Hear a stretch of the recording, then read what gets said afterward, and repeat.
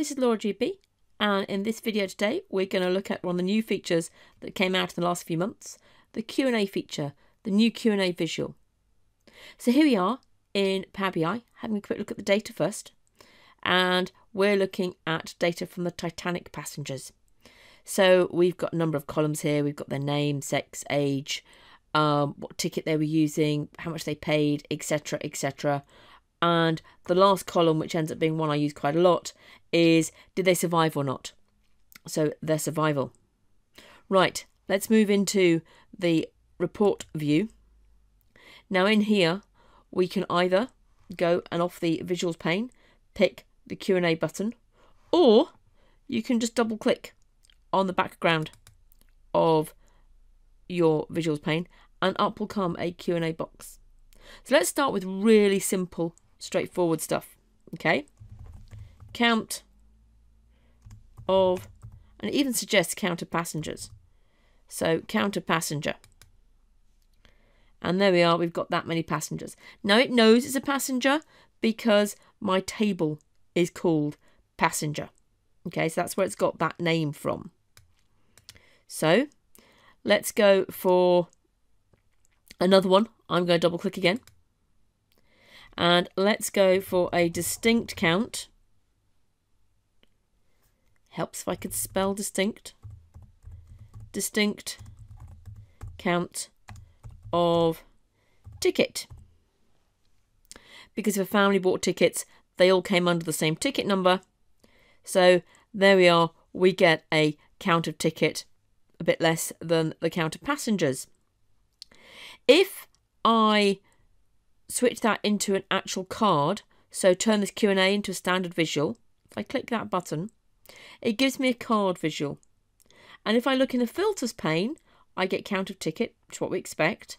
And if I look in the fields section of that visual, and under the field there, if you look, you get count distinct. So that's what we expect. That's what we asked, asked for. Now, if I haven't saved or closed and reopened my visual, I can change that back to a Q&A and it will remember the ticket.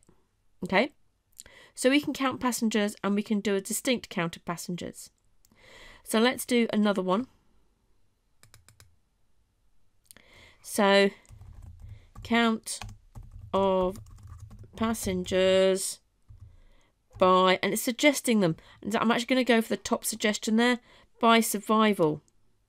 And there you go, it gives you a little bar chart showing you how many died and how many survived. Okay. So, these are pretty straightforward questions.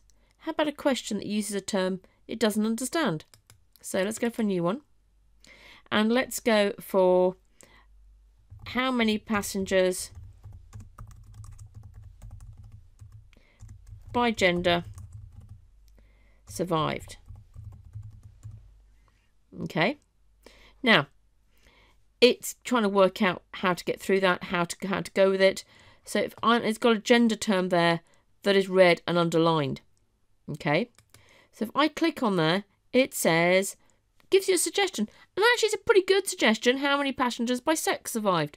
It's got a term it, it guesses which it means. But you can actually put in define gender and it gives you this teach Q&A window. And I can click submit in there.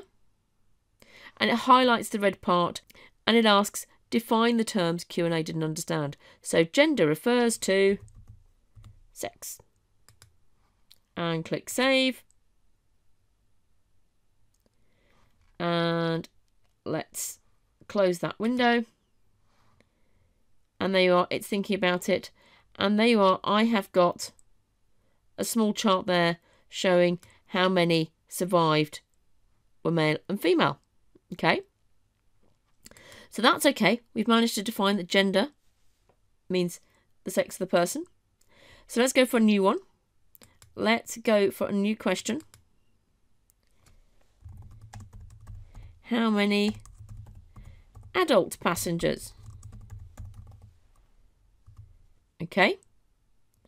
So if I press return on there, it can't quite work it out. It's got the total number of passengers. If I click on adult, We're not sure what you mean. Try another term. Define adult. So submit. Now this time the question is slightly different. It's got a box in the middle. So passengers that have blank are adult. So they have an age greater than, I suppose, greater than or equal to, that would make more sense, 18. Okay, and as soon as that's put in and it's happy with that, it gives you a save button. The preview might not come up as fast as you want. It might not come up at all. So we're just going to click save and close that box and give that a refresh, go wait for that to refresh. And there you are, you've got 892, which is pretty good. To come up with how many child passengers, I've tried many ways. It cannot work out the word child. I think it has some other meanings in here. Okay, but let's just go for one more example.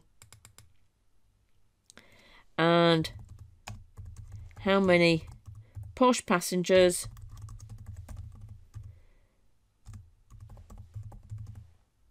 survived. Okay, and posh passengers define posh, and we're going to go with posh is that the class they were in equals 1. They were first class. Click Save. Close that. And there we go. We get a card.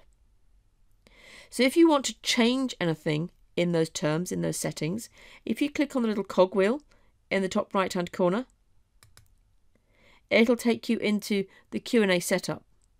Now in here, I'm not going to have a look at review questions today, but in there there's the teach terms, which is where we were going into to type in questions. It remembers the last one we did there. The terms that you teach it are under manage terms, and there we are. We can see that we have saved an adult, we've saved gender, and we've saved posh. the cards that come up, okay, so we've got our posh passengers survived. If I convert that into a card, you can see that the filters that are applied, I get P class is 1, that's the posh part, and survival is survived, okay? So that's how I get to my 200, by using filters. So in my video today, I've taken you through some Q&A ideas and some Q&A features. Remember, it is still parts of this are still in preview, they're still very new. So let me know how you get on. And if you've got any good examples and some good ideas, I'd love to hear them. If you haven't already, please press subscribe. Take care now.